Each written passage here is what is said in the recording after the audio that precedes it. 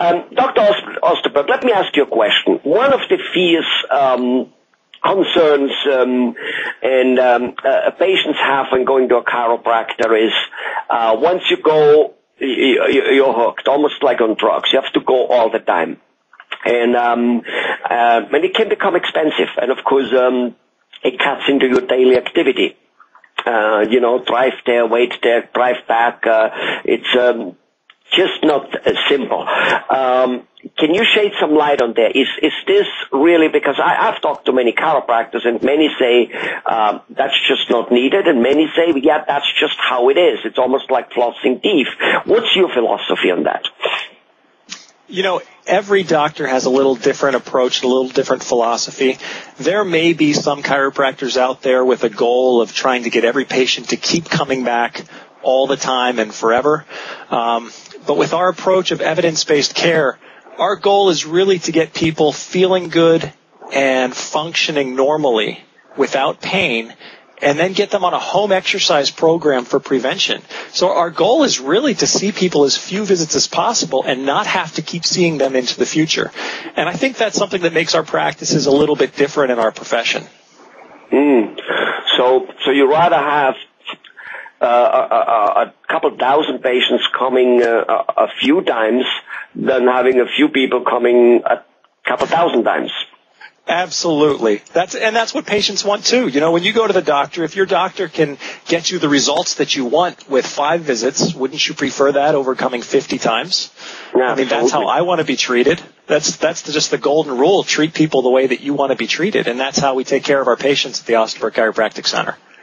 Absolutely. But give me an example or two uh, of how you can achieve that. How how how can you be so precise that uh, pain, because that's really what it is all about, uh, pain yes. or or which is usually associated with pain or um, uh, not being able to do certain things. Like it's not it's not good to drive in the car and not be able to turn your head. Uh, it, it's just, it's just, it's uncomfortable. It is usually slightly painful, uh, and it's definitely dangerous. You know, I mean, yeah. Um, so, um, tell me how, you know, how how do you achieve that on a regular basis? Well, we we certainly can't get those results with everybody, but a couple years ago we did some research with 200 sequential patients in our office, and we had an 81% satisfaction rate. Now that's looking at patients with new problems, acute conditions. It's also looking at people with, who came to us with chronic problems. And we did this research or did this survey 12 months after they'd been discharged from their care, and 81% of them said that they got good to excellent results one year after we were done with them. So we're very happy with the kind of results that we're getting. And I think that the key to that is that we pay a lot of attention to function.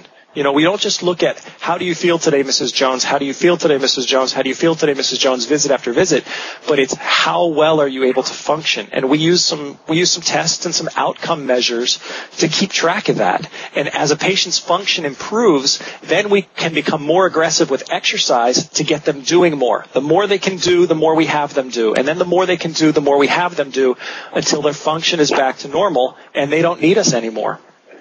So you basically test them by performing a particular function, such as go try to look over your shoulder or whatever it might be. Yes. And um, next thing you know is you go, oops, you know, she might not complain about it as such at this at this moment. So selling how do you feel? You go, well, I feel good, but she forgot all that she can't look like that, or that she can't bend, or whatever it may be. So you make doing those things and uh, or, or you know measure it somehow, and then you go, wait a minute, because he or she cannot do, or because he or she can do, this is okay. This part of the body is okay or is not okay, and needs some uh, treatment. By doing so, you zoom into to the problem faster. I guess I don't know.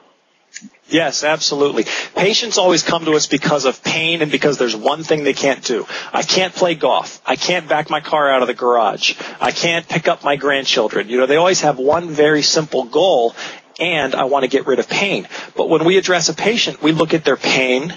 We also look at their flexibility. We look at their muscle endurance. We look at their strength. We look at their posture. We look at their global fitness level, their global conditioning level. And we, we need to see improvements in all of those areas as their pain level is improving. And that's how we get lasting results. Because all those areas work together, I suppose, right? Yes, absolutely. Absolutely. If you can make a little bit of a change in each of those five areas, the patient will feel a, a huge difference in their lifestyle. So getting a little bit of improvement in each area is a lot better than trying to fix one area perfect. Well, what what happens is some doctors focus on one area, let's say flexibility, and they just keep working on you know more stretching, more stretching, more flexibility, more flexibility, and they're ignoring everything else. And and you reach a point where you can't improve flexibility without increasing the patient's balance and the and the patient's strength and maybe the patient's posture. So because of the synergistic effect that exercise and rehab has when it's applied appropriately, you can really get some tremendous outcomes, even with patients who've had problems for years. Wonderful. That's nice to hear. So basically a synergetic approach uh, and uh, measured approach, basically measured, you know. Yeah.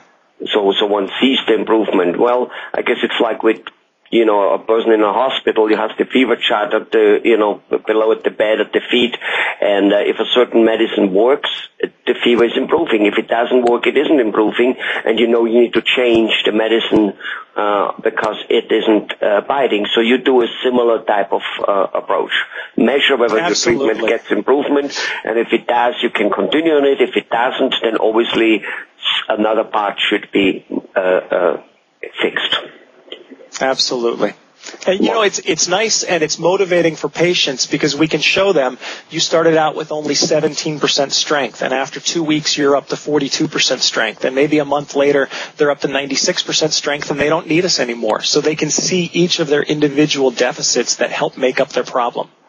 Great, wonderful. It's good information, Dr. Osterberg. Thanks a lot. Thank you.